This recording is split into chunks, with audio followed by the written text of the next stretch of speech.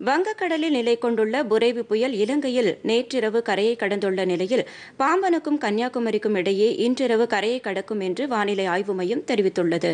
இலங்கையின் வடகிழக்கு பகுதியில் குச்சவேலி மற்றும் திரியாயி இடையே நேற்றிரவு பத்தரை மணி முதல் பதினொன்றரை மணிக்குள் புரேவி புயல் கரையை கடந்ததாக இலங்கை வானிலை மையம் தெரிவித்துள்ளது. இதனைத் தொடர்ந்து மன்னார் வளைகுடா பகுதிக்குள் வந்துள்ள இந்த புயல் பாம்பன் அருகே எழுபது முதல் எண்பது கிலோமீட்டர் வேகத்தில் சூறாவளி காற்றுடன் இன்று மதியம் மையம் கொள்ளும் என்று சென்னை வானிலை ஆய்வு மையம் தெரிவித்துள்ளது. பின்னர் மேற்கு தென்மேற்கு திசையில் நகர்ந்து பாம்பனுக்கும் கன்னியாகுமரிக்கும் இடையே இன்றிரவு அல்லது நாளை அதிகாலை கரையை கடக்கும் என்று வானிலை ஆய்வு மையம் கணித்துள்ளது. இதன் காரணமாக தென் தமிழகத்தில் கனமழைக்கு வாய்ப்பு இருப்பதாக கணிக்கப்பட்டுள்ளது.